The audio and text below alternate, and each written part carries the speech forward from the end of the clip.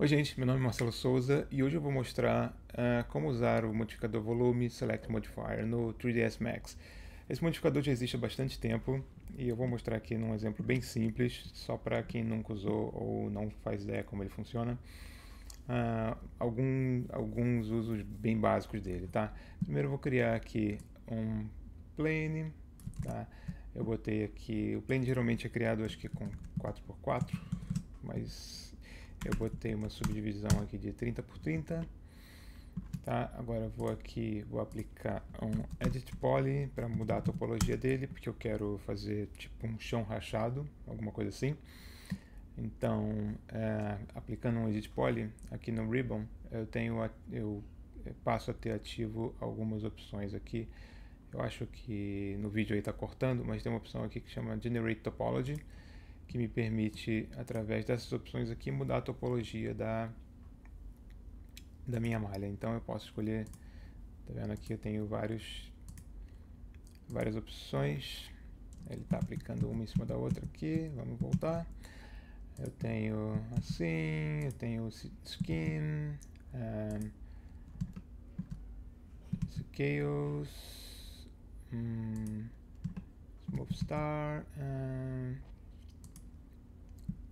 Tether, essa seria interessante, mas não nesse caso. Vamos dizer que eu queira. Hum, vamos escolher size. Não, isso aqui só afeta esse daqui. Vamos escolher essa skin aqui mesmo, tá? Então, eu tenho essa, essa, esse, essa nova topologia. Eu venho aqui e aí eu vou querer só que eu vou querer essas faces separadas. Então, para separar essas faces, eu venho aqui, aperto Ctrl A, boto em Editar Edges, Ctrl A para selecionar todas as edges, dou um Split. E o que, que isso faz? Ele quebra todos os, todos os polígonos em elementos separados. Está vendo aqui? Então, eu vou poder trabalhar com eles de forma independente. Aí, agora a gente já pode começar a brincar e aplicar o volume Select Modifier que, que, que ele faz? O nome mesmo já diz, ele mesmo, uh, ele permite que você selecione elementos baseados em volume ou em texturas ou em outros objetos. Um, aqui tem algumas opções, eu vou dizer que eu quero selecionar os vértices. Espera aí. Aqui, selecionar os vértices, eu posso selecionar as faces ou os objetos. Eu quero selecionar os vértices e eu quero selecionar baseado num mesh. Eu vou criar aqui um, uma, uma esfera, no caso, tá? Vou deixar ela Alt X aqui para ficar meio translúcida, ficar um pouco mais fácil de enxergar. E eu vou selecionar aqui no Mesh Object essa esfera como o meu objeto que vai atuar como, como volume de seleção, né? Então, já dá para ver aqui que a esfera está selecionando os vértices desse plano. Então, se eu mover o plano aqui, como a esfera está parada, deixa eu esconder a esfera. Ó, como a esfera está parada, você consegue ver que a seleção fica onde a esfera estava. E o mesmo acontece se eu mover a esfera, eu movo para cá, a seleção move para cá. O legal do Volume Select é que ele me dá a opção de Soft Selection nessa seleção. Então eu posso não só escolher o quanto eu quero afetar de seleção, quanto o shape dessa seleção, né? Aqui da curva da seleção. E aí o mais legal, que aí é uma coisa do Max, uh, é que você pode aplicar efeitos, uh, você pode empilhar efeitos. Quando você coloca um efeito em cima de algo que já está selecionado, esse efeito é, afeta só o que está selecionado. E aí isso abre um mundo de possibilidades. Então aqui, nesse caso, eu posso aplicar um Xform, seria uma transformação, né?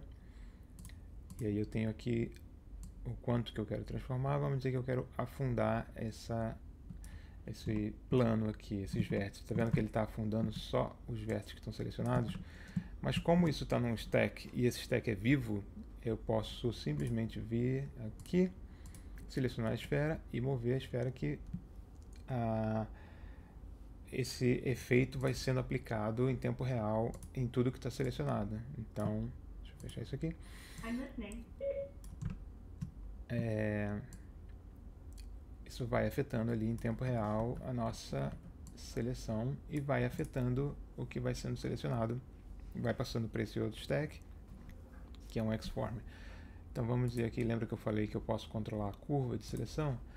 Eu vou dizer que eu quero que seja uma seleção um pouco mais apertada ali, tight, né? E eu quero que ela que ela tenha um efeito aqui, um pinch. Um bubble na verdade. Um bubble, não, um pinch mesmo. Que eu quero que esses vértices selecionados façam uma barriga na seleção assim ó. Que eles selecionem e tá vendo aqui minha curva ele vai seguir a forma dessa dessa dessa curva aí então, o que, isso, o que, que isso vai fazer acontecer? Vai fazer, ó, na borda do contato, os vértices vão para cima e depois eles vão para baixo. Deixa eu esconder aqui a esfera que dá para ver de uma forma mais legal. Então, isso aqui você pode usar para um monte de efeitos. Né? Você pode escalar a esfera aqui, por exemplo. E imagina se não fosse uma esfera, se fosse um modelo com noise ou você pode controlar essa seleção por um mapa procedural também, se você quiser. Então, uh, dá para fazer uma infinidade de efeitos com isso. E lembrando que isso vai, vai, ele vai aplicando todos os efeitos que estão por cima dessa seleção. Então, se eu aplicar em cima dessa seleção um delete mesh, olha o que vai acontecer. A esfera vai selecionar e vai deletar todas as faces que estão que estão sendo selecionadas. Então, isso já dá para fazer mais efeitos. E aí você vai combinando pilhas de efeitos que vão sendo uh, vão afetando essa, essa estrutura e inclusive você pode botar outros volume selects, um volume select em cima de outro com outros objetos interagindo e aí dá para fazer bastante coisa. Então vamos tirar esse delete mesh aqui que eu não quero isso. Eu quero, na verdade, é simular uma rachadura. Né? Vamos dizer que eu não quero exatamente esse efeito aqui. Então vamos vir aqui, vamos deixar esse gizmo um pouco mais suave e vamos dizer que no que eu quero abrir esses pontos aqui um pouco. Não vai dar para abrir os pontos porque eles estão soldados, então eu tenho que vir voltar aqui no, no meu stack, selecionar edges, edge, edges, selecionar todas as edges, tá? E dar um split. Pronto. Agora eu já tinha feito isso, né? Eu acho que eu já tinha feito isso. Bom, eu fiz de novo não vai mudar nada. Mas enfim, é, vamos voltar aqui no volume select. O que, que eu quero fazer? Eu quero que nas faces selecionadas elas se abram um pouco. Então, o que, que eu posso usar para fazer esse efeito? Eu posso usar um push. Push? Não, talvez um relax. Vamos botar um modificador aqui que vai ser um relax. Talvez não seja o melhor modificador para fazer isso, mas vamos tentar com o relax. Vamos desligar aqui o Keep Boundaries. E olha o que já está acontecendo. Já já está criando um efeito aqui bem. Vamos a 0.2. A interação não pode ser quebrada. É quebrado é aqui. Então, ó, vamos vir aqui na no meu volume selection. Vamos, vamos diminuir essa esfera também, que ela está muito grande. O efeito está afetando muito para longe. E vamos aqui no plane. Vamos aumentar o volume selection. Quero ver o resultado. Vamos aumentar o volume selection aqui. Vamos tirar um pouco do pinch. E olha lá o que, que já está acontecendo. Se eu vier aqui e mover a minha esfera invisível aqui, ó, ela já vai, ó, já vai quebrando por onde ela passa. Então se eu fizer isso, ó, ela vai simulando uma rachadura. Aí vamos dizer que eu queira um volume na rachadura aqui. Eu venho aqui, aplico um shell. Shell no max ele cria um volume. E aí isso vai ficando na stack. O max vai re re respeitando o seu stack você continua tendo um controle interativo sobre isso daqui, ó. E é bastante rápido, tá vendo? Lógico que depende do peso da malha, mas ó. vai ficando interativo e ele vai quebrando.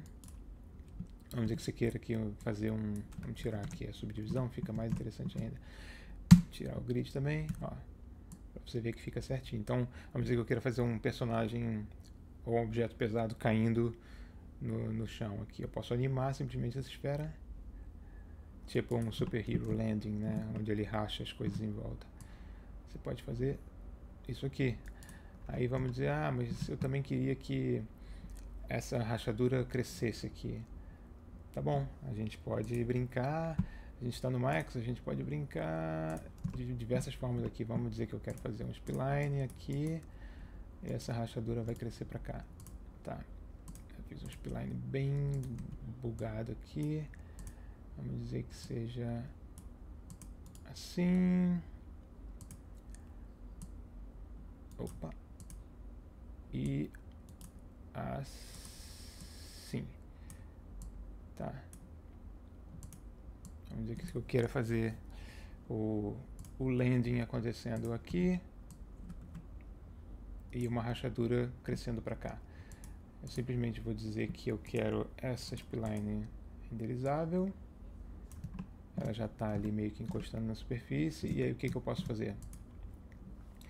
No volume select, infelizmente só dá para você, eu acho que só dá para você adicionar um modelo por vez para fazer essa seleção. Talvez eu nunca tentei agrupar. Vamos tentar agrupar.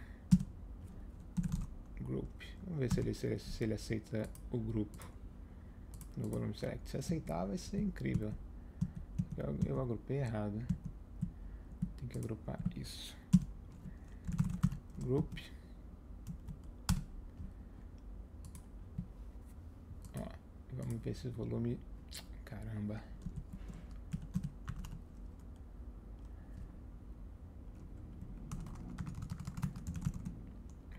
Que eu agrupei errado. Vamos ter um grupo explode aqui. Fazer direito de novo. Não é o plane, é a linha e a esfera, beleza. Group. Pronto, agora tá certo. Agora vamos no volume select aqui, vamos ver se ele aceita. Eu nunca testei isso. Eu acho que não aceita não. É, não aceita. Aceita? Ah, ele aceitou, mas ele ficou bem maluco. Então, não tem problema. É, vamos dizer que. É, lembra que eu falei do stack? Que você pode continuar estaqui, estaqueando coisas em cima? Então, o mesmo acontece para para cá, né? Para esse caso. Então, o que eu quero fazer? Eu quero adicionar. Vamos dizer que eu quero que essa esfera. Ó, eu vou animar a esfera agora. Eu vou dizer que essa esfera no frame 0, apertar N aqui, quando está vermelhinho está animando. Vou dizer que essa. Ah, tá no grupo aqui. Vamos deletar esse grupo. Opa. Tem que explodir o grupo. Explodir o grupo. Vamos dizer que é aqui no frame 1 essa esfera está aqui. No frame. Acho que não salvou, mas tudo bem. No frame 10 ela está aqui. É isso. Vamos tirar. Ah, tirar a desaceleração aqui, né? Porque o Max por default deixa a curva assim. E aí vamos dizer que aqui nesse frame bateu aqui, ela escala um pouquinho. Né? Então vamos deixar aqui a escala da esfera acontecendo um pouquinho mais para cá, assim. Então bateu, escalou. Vamos ver, vamos esconder a esfera. Vamos ver o que está acontecendo aqui. Beleza, está muito suave. Hum, filtro, uh, todas as keys. Vamos escalar isso para cá, deixar um pouquinho mais violento. Beleza, vamos dizer que seja isso. Agora, a gente, o que, que, que eu quero fazer aqui? Antes do shell, um, eu quero, e do xform, não, é, pode ser antes de todo mundo aqui. Eu só quero mais um volume select em cima desse volume select. O que eu posso fazer é simplesmente eu posso copiar e eu posso colar esse volume select, um em cima do outro. Só que nesse segundo aqui, no Mesh Object, eu vou selecionar esse cara aqui. E aí, você lembra que aqui tinha uma opção de Replace? Eu quero Add. Porque agora eu não quero mudar a seleção que já está vindo pelo stack. Eu quero adicionar uma nova seleção. Então, venho aqui, Add, e agora eu tenho as duas seleções. Ó, o Landing e essa outra aqui. Só que aí eu quero que isso aqui cresça. E aí, de novo, uh, Modifier Stack do Max. Como é que eu vou fazer isso daqui, essa rachadura crescendo? É, eu tenho uma spline que tá, o Max consegue transformar diretamente aqui a spline para modelo. Tá? E aí eu tenho um cara aqui que chama Slice. O que, que o Slice faz? Ó, ele cria um plane aqui. Eu vou girar esse plane 90 graus, mais ou menos aqui. Mais ou menos, não precisa ser certinho girei o plane e esse plane ele subdivide a malha aqui onde ele está passando. Ó. Tá vendo aqui uma linhazinha? Só que você também pode escolher que você quer remover uma parte da malha exatamente onde está o plane. E aí olha o que acontece. Olha que legal. Eu posso simplesmente sumir com o modelo e fazer ele andar para cá. Então vamos deixar aqui no. Vamos ligar a animação. Vamos deixar no frame 0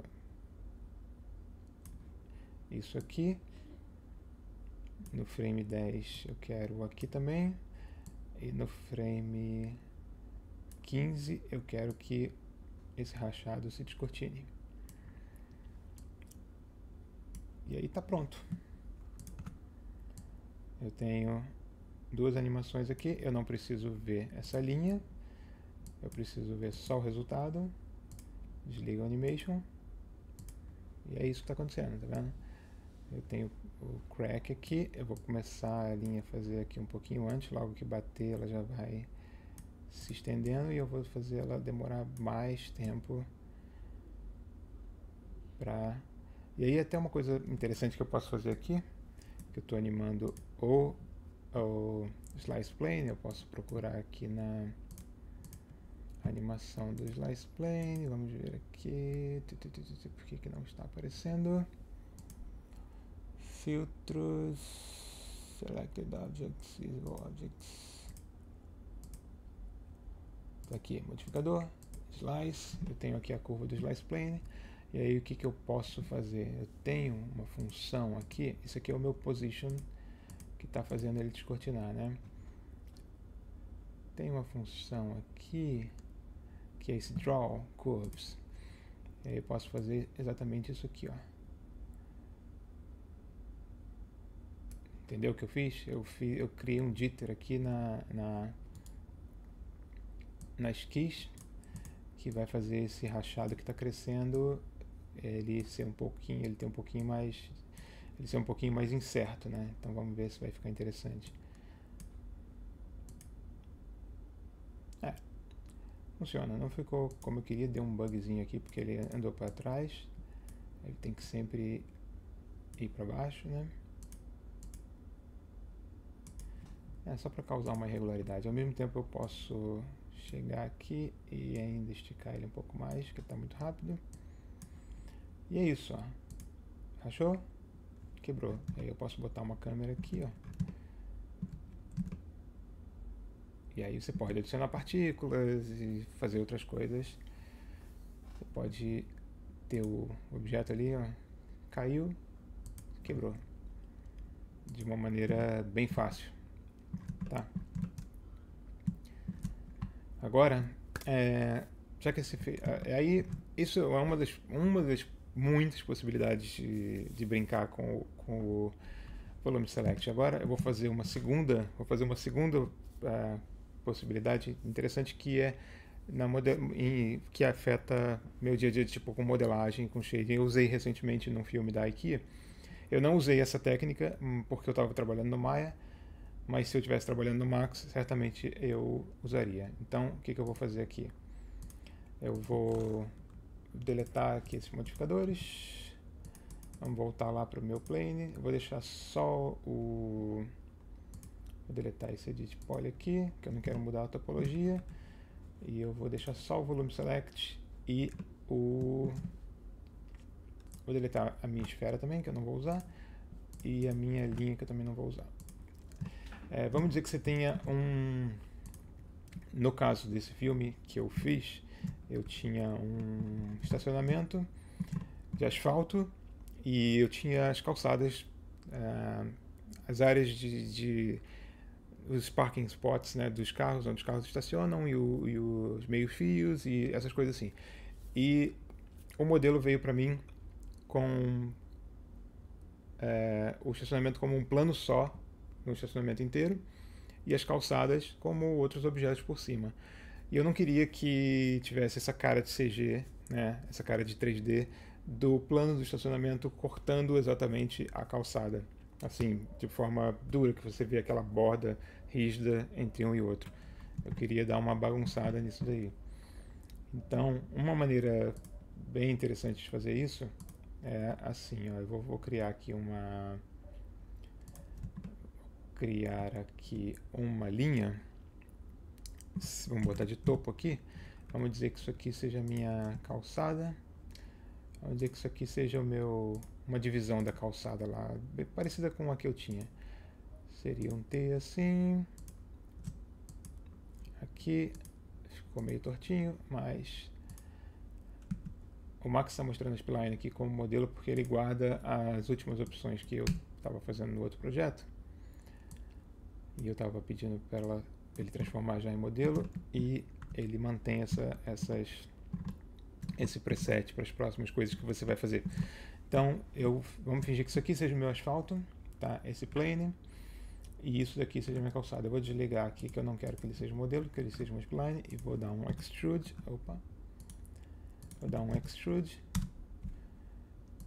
e é isso aí, vamos fingir que isso aqui é a calçada, e isso daqui é o meu asfalto.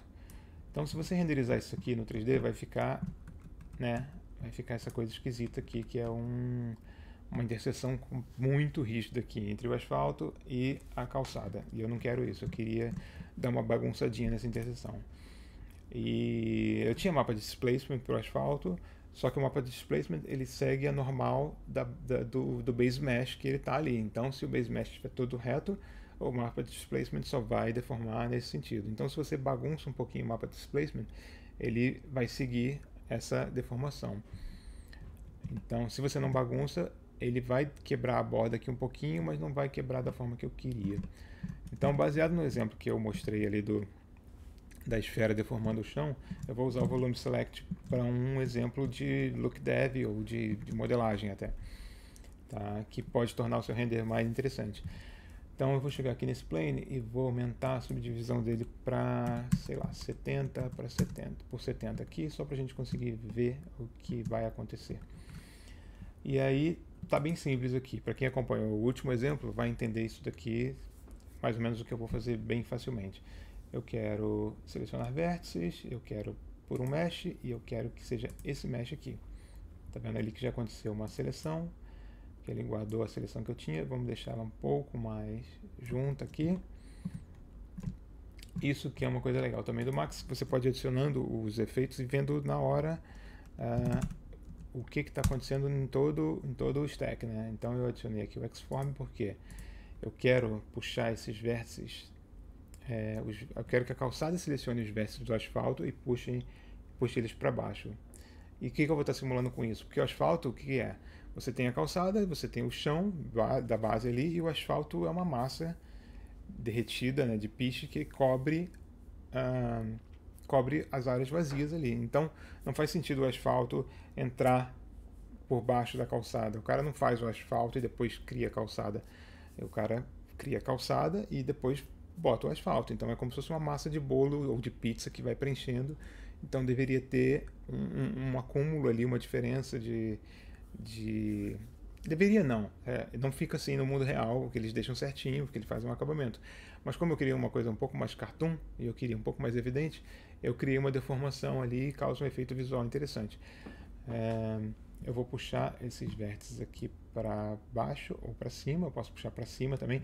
Isso é legal que dá para fazer outros efeitos, tipo tensão de líquido em superfície, sabe? Quando você tem o líquido na borda de um copo e ele sobe um pouquinho, ou e você tem algum objeto, algum objeto tocando um líquido. Eu vejo um monte de render de coisas um líquido e sem esse efeito, por exemplo, você bota uma, uma, uma azeitona semi-imersa num líquido, uh, o líquido não pode passar reto na azeitona, né? O líquido tem que ele tem que ter aquela tensão superficial que é uma coisa natural. Ele, ele, ele dá uma subidinha ali.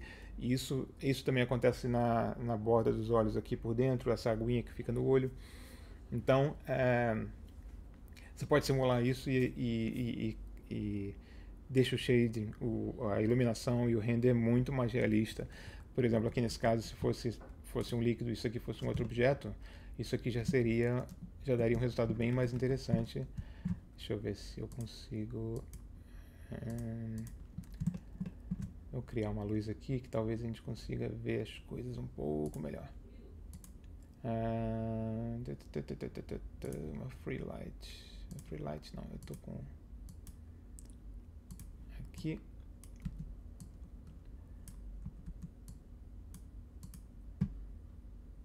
Aumentar a intensidade. Bom, só para só para ver aqui a, o que está acontecendo.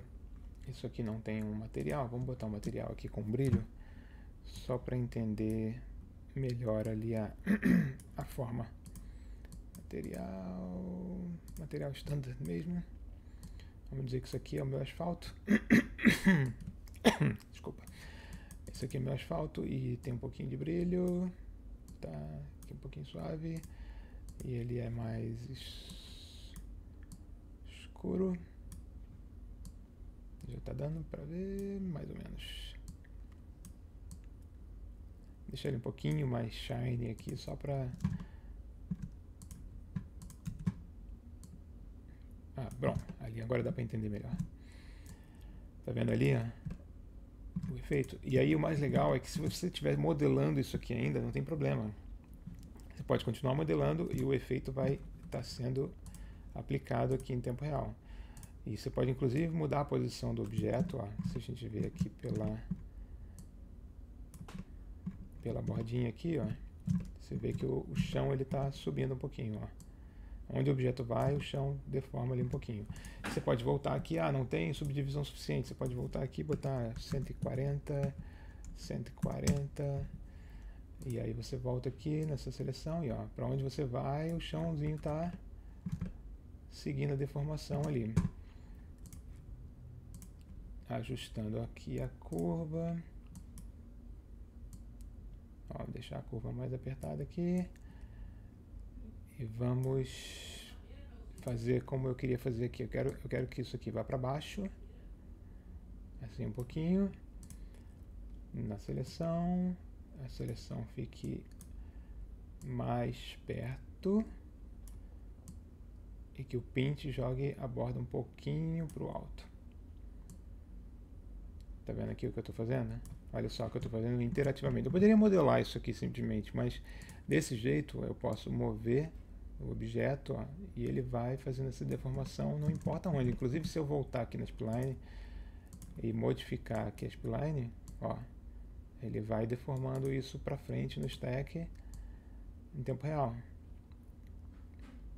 Então você pode mudar o seu modelo, ah, isso aqui está muito comprido, vamos voltar um pouquinho e você pode já ir vendo o resultado. E aí, ó, só de adicionar isso daqui, essa bordinha, já dá uma coisa mais interessante na, no render aqui. Quando você botar um displacement em cima disso, já fica um resultado bem mais interessante. É... E aí, como você está com o stack vivo ainda aqui, você pode aplicar outras coisas. Por exemplo, eu posso aplicar um noise e aí aqui eu posso ver o noise funcionando em Z. E olha o que está acontecendo. Aqui, aqui, aqui, eu estou bagunçando, ó, estou bagunçando todo o modelo onde ele está encostando aqui na, no objeto, ó, interativamente, tá vendo aqui? Como se fosse uma um cimento fresco ali, ó. Tipo, eu posso inclusive girar aqui o modelo, eu posso fazer todo tipo de modificação que vai afetando em tempo real. Então, isso é mais uma outra dica que deixa eu desligar aqui. Tá, ele vai ficar sempre mostrando os pontos aqui enquanto eu não aplicar um edit poly de novo no final aqui para fechar o meu fechar os modificadores, tá? Aí agora, ó, fechou os modificadores. Ó. Tá vendo? Eu estou aplicando, eu tô aplicando aquela deformação e eu estou aplicando um noise ao mesmo tempo. E é isso, eu posso vir aqui, nananana.